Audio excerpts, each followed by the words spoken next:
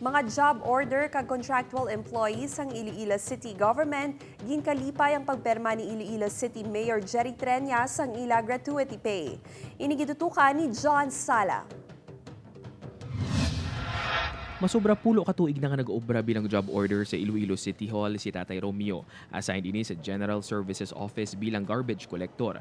Balo na si Tatay Romeo kag ang sweldo sini ang mayor nga ginasaligan sang iya mga kabataan kag apo. Buta nga dako ang iya kalipay sang nabatian nga makabaton ini sang gratuity pay. Kalipay taman eh, kay ini nga Disyembre nga dan, pigado man.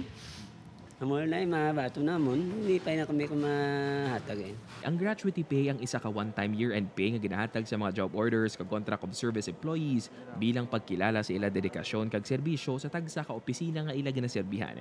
Ang paghatag sini santo sa administrative order ni Presidente Ferdinand Bongbong Marcos Jr. ang nakabase sa kadugayon sa serbisyo. Kung nag-obra sang less than 2 months, makabaton sila sa hindi maglapaw sa 2,000 pesos. Hindi naman maglapaw sa 3,000 pesos para sa mga nag-obra sang less than 3 months. Sa mga nag-aobra naman sang less than 4 months, 4 kalibo ka pesos ang mabaton. Samtang nag-aobra sang 4 months and above, ang makabaton sang 5,000 pesos.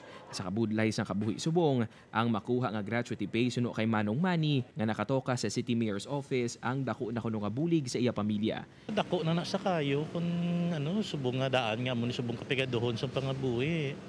Dako na na kayo yung 5,000 nga mabato namon ano. Si Manong Roger naman may nakapain na kuno nga galastuhan in kaso mabato na ang gratuity pay. Sa akon, dako, makabakal kong bugas, makabayad sa mga kurente sa lod balay.